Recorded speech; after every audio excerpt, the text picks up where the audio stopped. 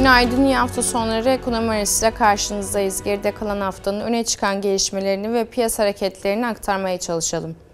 Geride bıraktığımız haftada Türkiye'ye çok iyi bir haber geldi. Türkiye gri listeden çıktı.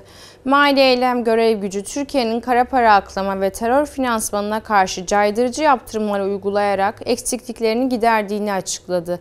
Kuruluş ayrıca Türkiye'nin bu konulardaki mücadelesini memnuniyetle karşıladıklarını belirtti.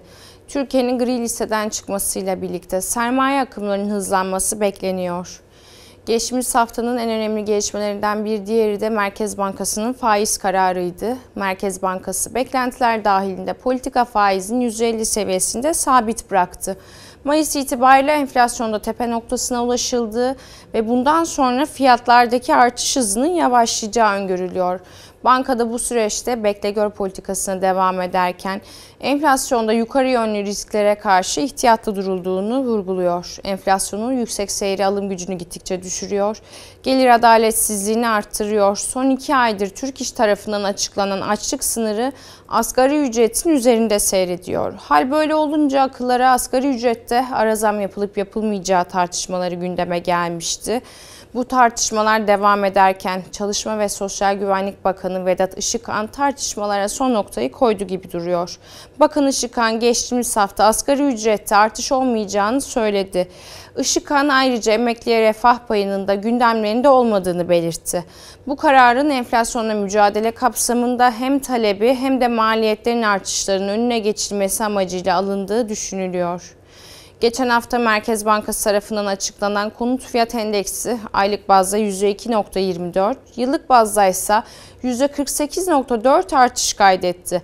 Böylece konut fiyatlarında son 2,5 yılın en düşük yıllık artışı yaşandı. Bu veriler ayrıca konut fiyatlarında reel kayıpların devam ettiğini gösterdi. Yani konut fiyatlarındaki artış enflasyon artışının gerisinde kalıyor. Konut fiyatları reel olarak %13.3 azalış kaydetti. Bu dönemde İstanbul'da konut fiyatları %37.6 arttı. Türkiye genelinde metrekare birim fiyatı ise 32.443 lira seviyesinde gerçekleşti. Yine geride bıraktığımız haftanın öne çıkan gelişmelerinden bir diğeri de kripto varlık düzenlemesinin meclise yasalaşması oldu. Böylece sermaye piyasası kanununda değişiklik yapıldı ve düzenleme ile kripto paraların ihracı, satışı ve dağıtımı için SPK'ya yetki verildi. Düzenleme pek çok farklı içeriğe sahipken platformlar, e, platformlarda fiyatlar serbestçe oluşmaya devam edecek. Geride kalan haftanın öne çıkanlarını paylaştık. Yarın yine aynı saatte bu kez gelecek haftanın gündemini aktarmak üzere karşınızda olacağız. İyi hafta sonları.